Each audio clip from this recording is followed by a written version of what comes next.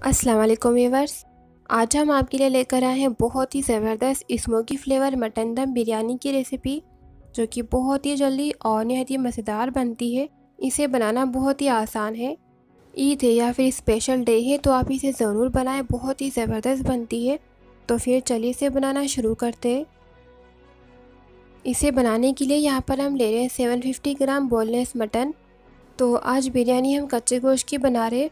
इसके पीसेस को हम इस तरह से कट कर दिए और ये बहुत ही जल्दी गल के तैयार होते हैं।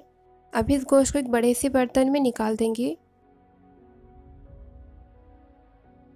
अब इस गोश्त में हम डालेंगे दो चम्मच प्लस आधा चम्मच रॉ पपाया पाउडर अगर आपके पास पेस्ट है तो आप वो डाल दीजिएगा। अगर आप रॉ पपाया पाउडर की रेसिपी देखना चाहते हैं तो हमारे चैनल पे अवेलेबल है, आप देख सकते हैं। बिरयानी बनाने के लिए हम यहाँ पर फ्रेश अदरक लहसुन का पेस्ट लिए हैं। आपको इसमें सारे मसाले फ्रेश ही डालना है, तभी बिरयानी का टेस्ट बहुत ही अच्छा आएगा।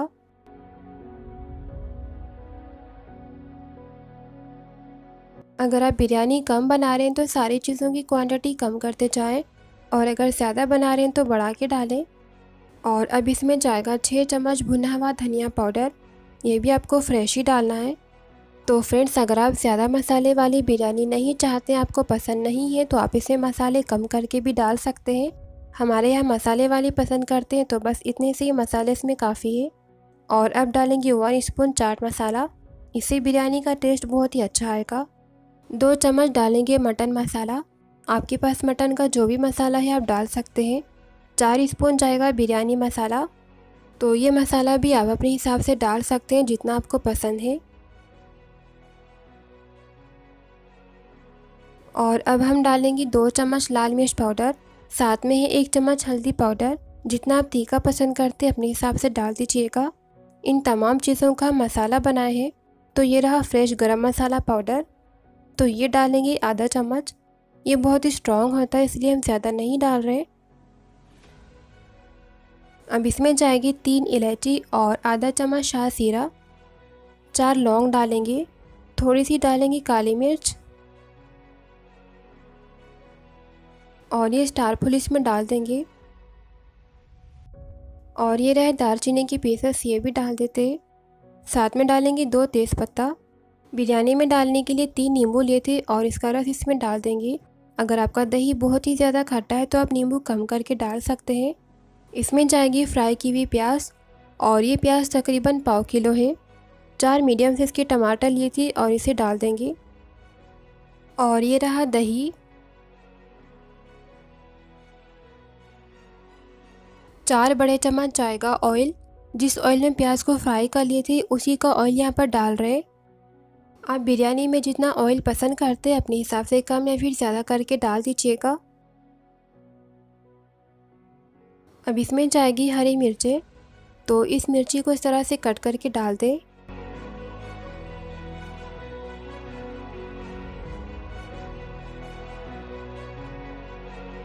ये रहा बारीक कटा हुआ हरा धनिया। और साथ में डालेंगे कटा हुआ पुदीना। सबसे पहले इन तमाम चीज़ों को अच्छे से मिक्स करेंगे और इसके बाद डालेंगे नमक। तो ये हम इसमें डालेंगे तीन चम्मच। नमक हम तीन चम्मच गोश्त में डालेंगे और तीन चम्मच चावल के पानी में। नमक डालने के बाद अच्छे से मिक्स करेंगे और इसे दो या फिर तीन घंटे तक ऐसे रख देते हैं। ताकि गोश्त के पर सारे मसाले और पपाया पाउडर अच्छे से लग जाए। जितनी देर आप इसे रखेंगे, गोश्त उतना ही अच्छे से गल के तैयार होता है। बिरयानी बनाने के लिए हम यहाँ पर ले रहे हैं डेढ़ किलो बासमती राइस। इसे अच्छे से वॉश करेंगे। इसे वॉश करने के बाद तकरीबन आधे घंटे तक इसे रख देते हैं, ताकि अच्छे से भीग जाए। आधे घंटे के बाद यहाँ पर पानी गर्म करेंगे और इसमें डालेंगे हॉट स्पाइसेस अब इस पानी में डालेंगे आधा नींबू का रस। नींबू डालने से चावल का कलर बहुत ही अच्छा आता है तो आप इसे ज़रूर डालें। थोड़े से पुदीने के पत्ते डालेंगे इससे जो है बहुत ही अच्छी सी महक आती है। एक चम्मच जाएगा ऑयल। ऑयल डालने से चावल नहीं चिपकेंगे और खिले खिले बन के तैयार होते हैं। इसे अच्छे से मिक्स करेंगे। तो यहाँ पर पानी बहुत ही अच्छे से खोल रहा है। अब इसमें हम डालेंगे तीन चम्मच प्लस आधा चम्मच नमक। अब इसमें डालेंगे भीगे हुए चावल।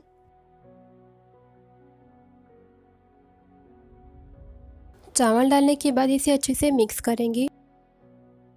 कच्चे गोश्त की बिरयानी बनाने के लिए चावल को ज़्यादा नहीं पकाना है।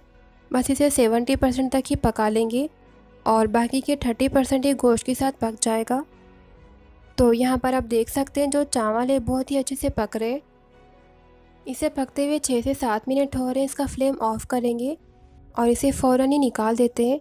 अगर ज़्यादा पकाएँगे तो चावल नरम हो जाएगा। इस गोश्त को रखे हुए तीन घंटे हो चुके थे, इसको गैस पर रख दी है। और अब इसमें डालेंगे दो चम्मच ऑयल। इसे अच्छे से मिक्स करेंगे। इस गोश्त के पर सारे मसाले, और, पपाया, पाउडर बहुत ही अच्छे से लग चुका है। इसे हम कुछ देर तक इसे मिक्स करते रहेंगे ताकि अच्छे से भून जाए। तो यहाँ पर इसे पकते हुए दो से तीन मिनट हो रहे और अब इसमें डालेंगे चावल का पानी। चावल निकालने के बाद जो पानी बच जाता है उसके ऊपर की चिकनाहट इसमें डाल देंगे। तो ये हम इसमें डाले हैं डेढ़ कप और इसे अच्छे से मिक्स करेंगे। ज़्यादा पानी नहीं डालेंगे वरना ये लूज़ हो जाएगा। अगर ये लूज़ हो गया तो बिरयानी के पर मसाले ठीक से नहीं लगेंगे। पानी डालने के बाद इसे हम तकरीबन पाँच मिनट तक पका लेते हैं। तो यहाँ पर आप ये चावल देख सकते हैं, बहुत ही अच्छे से पक चुका है। और अब ये चावल इसमें डाल देते हैं। इस कच्चे गोश्त की बिरयानी में लेयर्स नहीं बनाते तो इसमें हम पूरे चावल एक साथ ही डाल देंगे। चावल डालने के बाद इसे अच्छे से लेवल करेंगे और अब इसमें जाएगा ज़ाफ़रान कलर। तो आप बिरयानी जो भी कलर की बनाना चाहते हैं, जो आपको पसंद है, वो आप इसमें डाल सकते हैं। जितना कलर आप बिरयानी में पसंद करते हैं, अपने हिसाब से कम या फिर ज़्यादा करके डाल दीजिएगा। और अब डालेंगे फ्राई की हुई प्याज।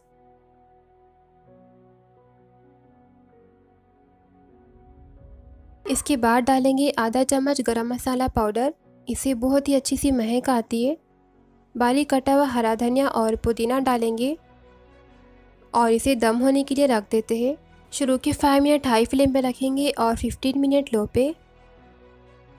इस बिरयानी को रखे हुए ट्वेंटी मिनट हो चुके हैं और यहाँ पर आप देख सकते हैं बिरयानी बहुत ही अच्छे से दम हो चुकी है और आप इसके चावल देख सकते हैं। बहुत ही मज़ेदार सी महक आ रही है। अब इसे स्मोकी फ्लेवर देंगे। इस कोयले के ऊपर डालेंगे ऑयल और इसे फ़ौर ही बंद कर देते हैं। इसे हम तकरीबन 10 मिनट तक ऐसे छोड़ देंगे। इसका फ्लेम हम बंद कर दिए हैं। इसका सारा स्मोक ख़त्म हो चुका था, इसको निकाल दिए हैं। और यहाँ पर बहुत ही जायकेदार बिरयानी बन के तैयार हो चुकी है। आप इसके चावल देख सकते हैं, बिल्कुल भी नहीं चिपके और चावल भी बहुत ही अच्छे से दम हुए हैं।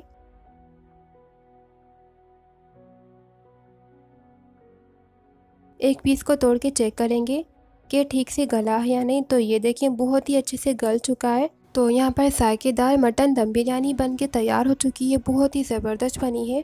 आप भी इसे ज़रूर बनाएँ और इसे इंजॉय करें। आपको हमारी आज की रेसिपी पसंद आई है तो इसको लाइक कमेंट शेयर ज़रूर कीजिएगा। और अगर आप हमारे चैनल शहदास कुकिंग पर न्यू हैं तो उसको सब्सक्राइब करना बिल्कुल भी ना भूलें। तो हम मिलते हैं कौनियों मज़ेदार रेसिपी के साथ। तब तक के लिए अल्लाह हाफिज़।